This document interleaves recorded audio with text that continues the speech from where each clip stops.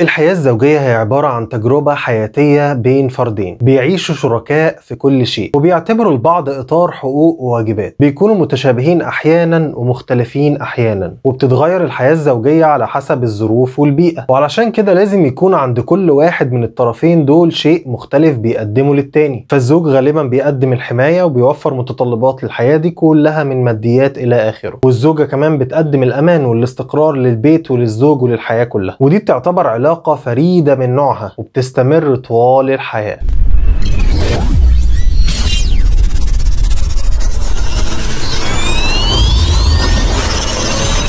الحياة الزوجية تعتبر مشاركة الطرفين في كل الأمور اللي بينهم وبيرتبوا حياتهم بالأسلوب الأنسب لاستمرارهم مع بعض. أسلوب بيغلبوا التفاهم والتناغم في كل الأمور اللي بتحدث. علشان يقدروا يعيشوا في سلام وهدوء واستقرار. وعلشان العلاقة دي تنجح وتستمر بشكل طبيعي لازم الطرفين دول يحافظوا على بعض النقاط. النقطة الأولى التقارب العاطفي. التقارب العاطفي يعتبر من أهم العوامل اللي بتساعد في نجاح الزواج. علشان بيدي فرصة للطرفين إن هم يفهموا بعض ويعرفوا كمان يتناقشوا في المشاكل اللي بينهم بعمق. بالإضافة إلى أنه بيؤدي إلى خلق مزيد من العاطفة بينهم. العاطفة دي اللي بتخليهم على مستوى عالي من التواصل والقرب لأنهم بيشاركوا كل حاجة بينهم وبيفكروا في كل حاجة مع بعض وبيشاركوا أحلامهم ومستقبلهم والمشاكل اللي بيواجهوها مع بعض اللي بيؤدي في الآخر لمستوى عالي من تقارب وجهات النظر وبيمنع الاختلافات اللي ممكن تحصل بينهم. النقطة اللي تيجي بعد كده هي نقطة الصدق. الصدق يعتبر من أكتر الأشياء ضرورة في العلاقات الصحية لأنه بيضمن استمرارية العلاقة بشكل كبير وبيضمن تطورها وزيادة الأمان بينهم. الصدق بيقوم بعملية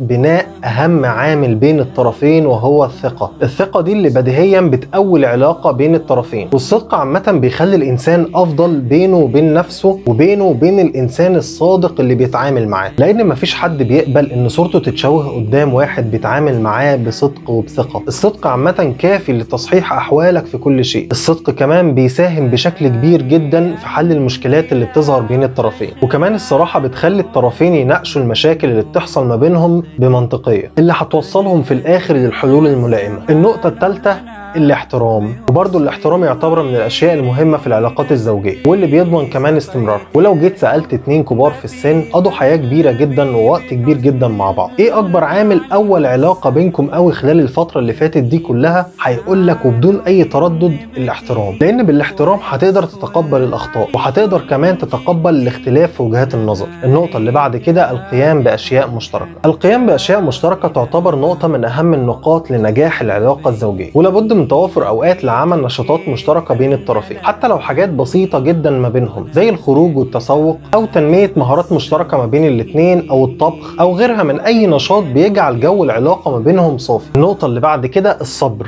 النقطة دي فعلا مهمة جدا. لو الطرفين قدروا هما الاثنين إن هما يوجدوا للصبر مكان ما بينهم هتكون حياتهم الزوجية قوية جدا لأن الصبر هيديهم القدرة على تحمل أي حاجة هتحصل ما بينهم. وتحمل أي حاجة معناها إن العلاقة بإذن الله هتوصل لأبعد الحدود. لأن العلاقة الزوجية بطبيعتها بتمر بتحديات كبيرة. تحديات داخلية وتحديات خارجية وبالصبر العلاقة هتزداد قوة وترابط. النقطة اللي بعد كده المسامحة. زي ما قلنا في النقطة اللي قبل كده إن العلاقة بتمر بتحديات كبيرة. يبقى لازم الطرفين في النقطة دي يتعاملوا بالمسامح لأن القدرة على التسامح بين الطرفين قادرة على تخطي أي مشاكل هتظهر بينهم والحياة هتكون بينهم صافية ونقية وعدم التسامح هيبني حاجز كبير في العلاقة حتى لو الطرفين فرضا عدوا المشكلة دي في تواجد الحاجز اللي ما بينهم. أي مشكلة هتظهر تاني بعد كده هتقلب القديم كله والمشكلة الواحدة هتبقى مجموعة مشاكل وهتتعقد الأمور أكتر. قبل ما أختم بس في النهاية أحب أقول رسالتين مهمين جدا. الرسالة الرسالة الأولى للزوجة. مش مهم تستني منه كلمة بحبك المهم يقولها في تصرفاته وفي كل أفعاله. الزوجة الذكية جدا تعرف طباع جوزها كويس أوي. تعرف بيحب إيه وتعرف بيكره إيه. اسمعي كلامه ونفذيه مادام مش بيأمرك بمعصية. لازم حسن الظن في كل تصرفاته وفي كل كلامه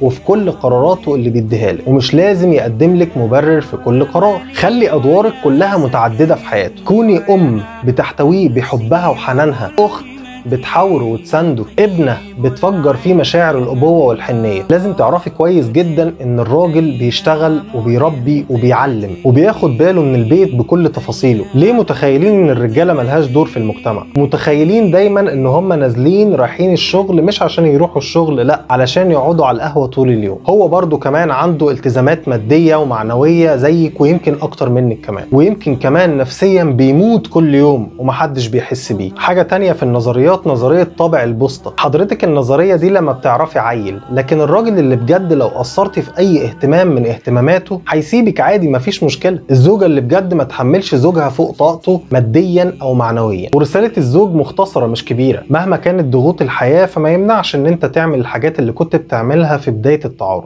هدية وردة شوكولاتة على فكرة بتخلص الكلام كله ومش عيب ولا حرام والله. اقعد اتكلم معاها وحاورها. هي منتظرة أكيد اللحظة اللي هترجع فيها البيت. علشان تطمن عليك اولا وتسمع منك كلمة حب أو حتى كلمة رضا. كلمة واحدة بتكلل بيها كل المجهود اللي هي قدمته طول اليوم من تربية أولاد أو طبخ أو غيره. لازم تعرف إن مفيش حد كامل في كل شيء. وبلاش تبص لها بعدسة الأخطاء وعاملها بالفضل مش بالعدل. الخلاصة أو الزتونة. الاحترام والتقدير والثقة والصدق والتسامح والتقارب العاطفي والصبر. بيعتبروا حاجات بسيطة جدا في أي علاقة بين الأزواج أو بين أي علاقة ناجحة. ربنا يسعد أيامكم دايما يا رب. وكالعادة أنا طولت عليكم جدا المرة دي. أستودعكم الله. السلام عليكم ورحمة الله وبركاته.